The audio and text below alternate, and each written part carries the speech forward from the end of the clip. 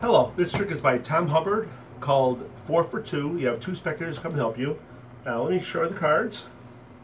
And let's give them a good mix before we start here. So, good shuffle here. And now we're going to have two cards selected here to make it a little tougher here.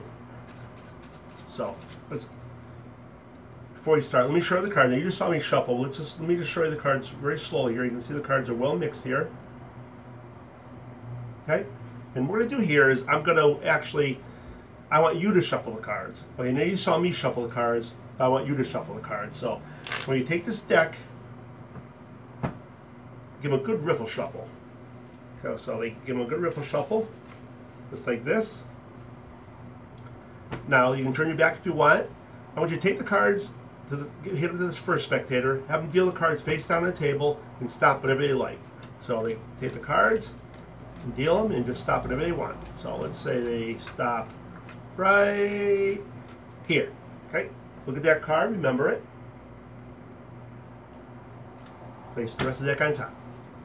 Now hand the deck to the second spectator and do the same thing. Just deal the cards one at a time and stop whenever you like.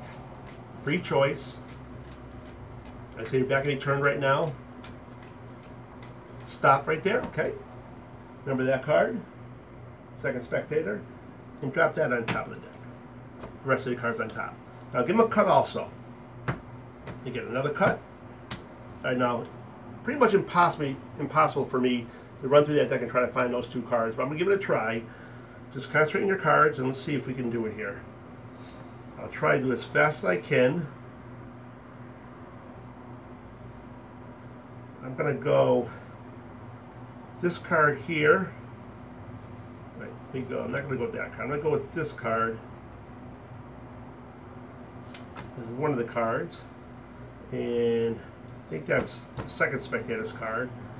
And this card for the first spectator's card. Go to the first spectator. What was your card? Five of clubs. There it is right there, the five of clubs. And the second spectator, what was your card? The two of spades. Two of spades. And that's called Four for Two by Tom Hubbard. Hope you enjoyed it. Thank you.